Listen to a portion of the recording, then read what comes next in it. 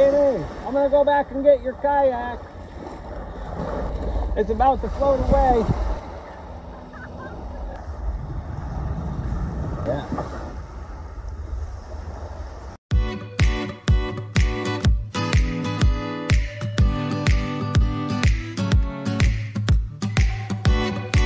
Okay, hi. So we fired up the water maker for the first time today ever, which we were all a little uncertain on. So, uh, but I'll give you a quick rundown of what happens. Salt water comes in through here, goes through a primary filter here, and then feeds down this tube and into this water maker here. So it pumps seawater through here, and then this filtration system basically pushes the seawater through it and um, keeps the salt out. So once the salt is out, it runs out this tube here and down into our water tank. And so before you do that though, you can turn this valve here to a little test switch. And what I did was tested it first. So making sure it's fresh. No salt. Good to go.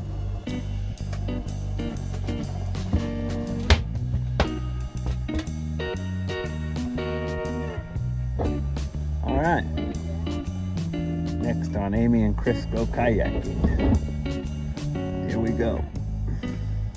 We just saw a sea turtle, but he went underwater right when I got my camera out. That's what they tend to do. We wanted to go check out the famous iguanas, but didn't want to go where all the tourists goes. So we just scooted around to the other side of the island where we had a great view all to ourselves.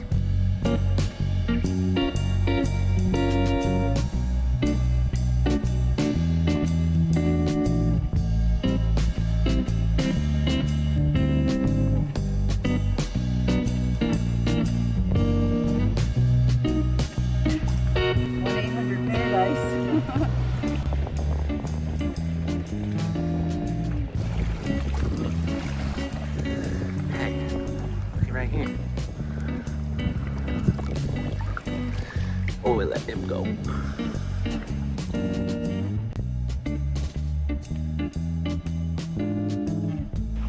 Ooh, little iguana bee. This species is called rock iguana and is protected by Bahama law, although we hear some people do eat them.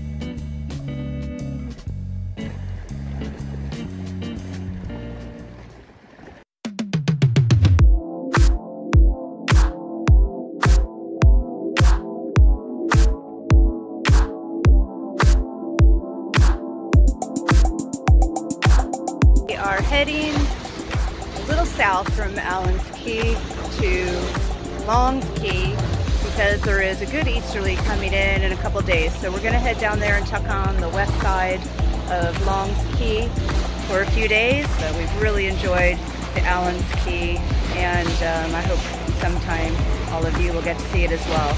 Not sure if we'll get to sail much today. There's not very much wind at all, so we'll see.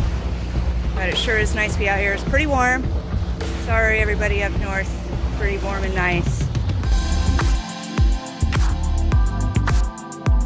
Chris is getting up the mainsail just to give us a little balance out on the deeper water here.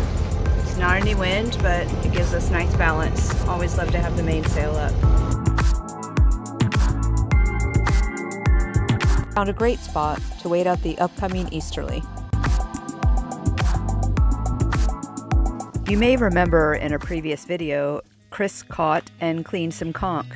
Now it was time to make some fritters.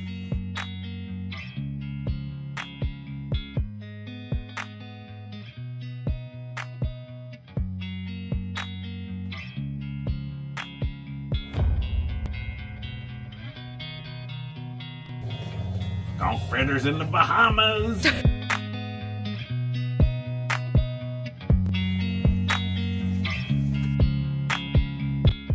have uh, we didn't have the right ingredients, but we had most of them. Just made it work. Yeah, that's what you do. That's what you do on boat life.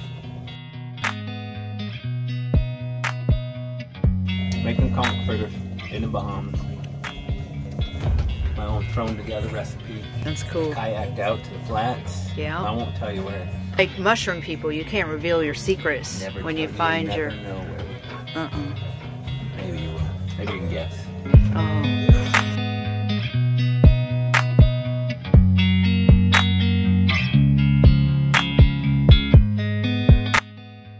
This is only my second time ever in my life having conch fritters, and Chris hit a home run.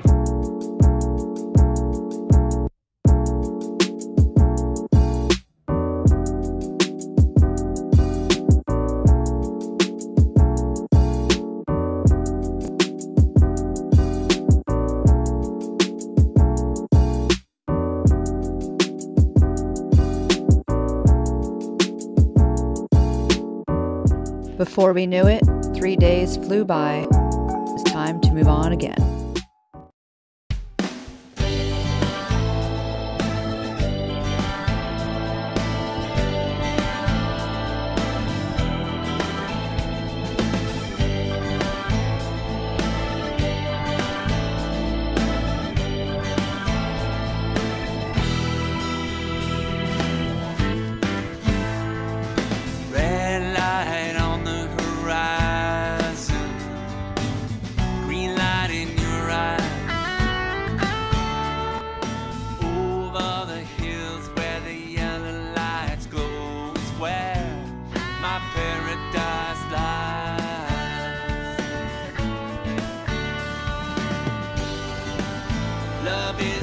Is I can't comprehend.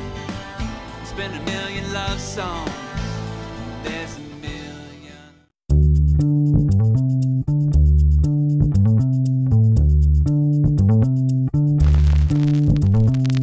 So far, these first couple weeks in Exumas have been absolutely stunningly beautiful.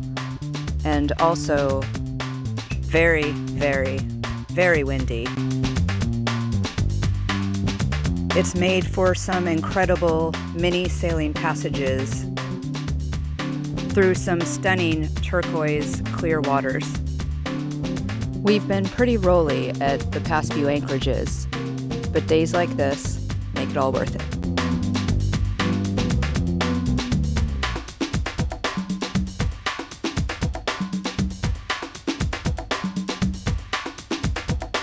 We arrived that afternoon into Staniel Cay, which is a very popular anchorage, and we decided to try and find some civilization.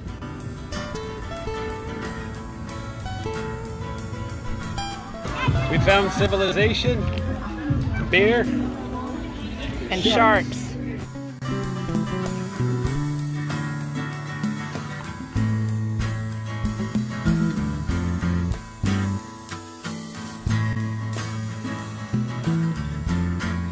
And I pretty much had the best pina colada of my entire life here.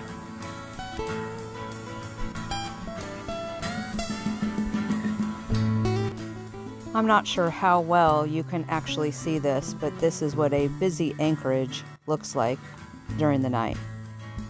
Yep, those are all anchor lights.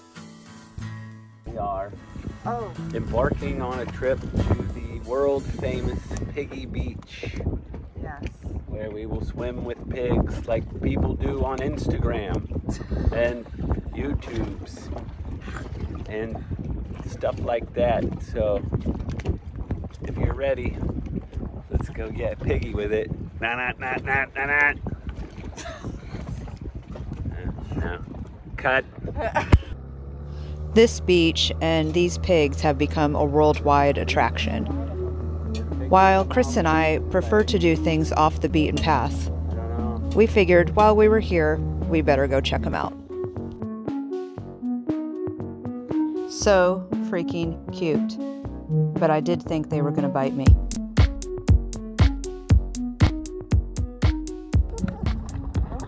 Just give him a little pet.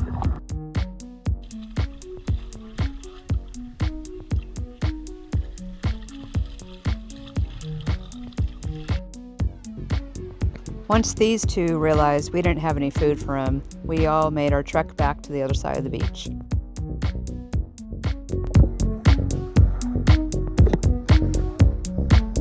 That's where most of them were hanging out in the shade. And I don't blame them, it was pretty warm.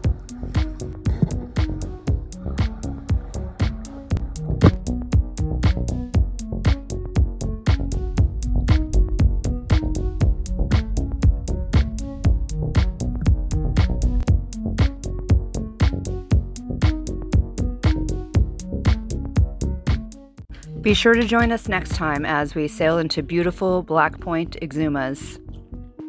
And we meet this amazing lady who just happened to be married to a world class sailor. I can't wait to share her story with you.